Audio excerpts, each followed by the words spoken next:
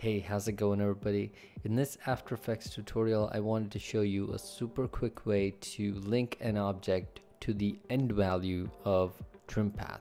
So I've applied trim path on this shape layer and animated the end value. And as you can see, when I move the end value, the object is linked to that end value.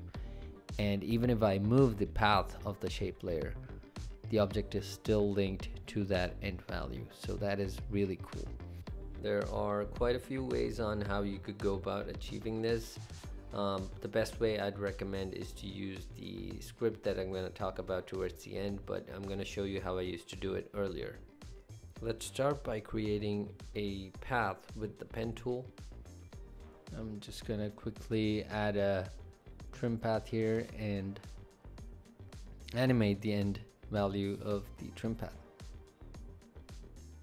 Alright, so now we've got this and if I wanted any object to follow along that path, I need to create a path keyframe, copy it and select the object, hit P and paste that over here on the position keyframes. And now we've got the extra work of aligning uh, these position keyframes to the trim path. I'm gonna press Alt and drag to align it. And now we've got the object following that trim path. Just to have the same output I'm going to auto orient this along the path. And I'm just gonna hit W and rotate this. So now we've got the same animation here. So yes this is one way to do it but when you decide to change the path let's say or the easing for that matter uh, for example here let me easy ease this. I need to make sure that the trim path has the same easing. So the downside here is that I need to keep both in sync both the trim path and the position of the object. That's the problem of doing it like this.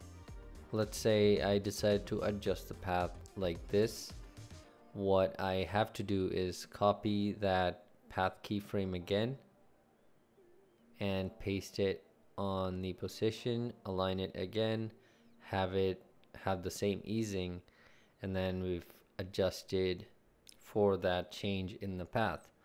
So yeah you get my point. It can get really messy when you're doing something complex. Let's say um, adjusting the easing here I have to make sure the easing goes here as well. So it's a lot of work. So now I'm gonna show you how to do this with a paid script called Wayfinder. It's a $25 script and I think it's the best thing you can get yourself to save a lot of headache. Now let me show you the same thing again with Wayfinder. I've created the path added trim path and I'm gonna animate the end value of the trim path. So we've got the same animation. Now just open up Wayfinder. I've, oh, I've got it already open here.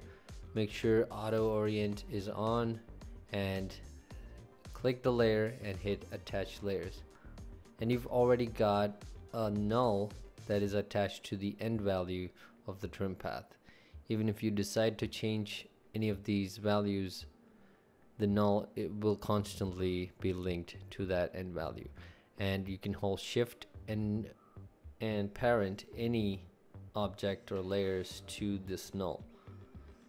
And even pre-comps you can just parent it and you can have a lot of things going on. So it's super quick super easy and I think that it's gonna save you a lot of headache. Like I said you can move the path and still have it attached to the end of the trim path. You can also change the easing and all of that stuff. So check it out when you've got something more complex hitting your plate. For the most part you can get away with the first technique that I used. That's Wayfinder for you. And if this is helping you to improve your workflow in some way please do leave a like and subscribe I make these kind of videos. I love making these kind of videos for you and I love finding out workflow shortcuts and recommending them. You might also want to check out the quick tips playlist that I've made. I'll be making more videos here in the future, so stay tuned. And I'll see you next time. Bye bye.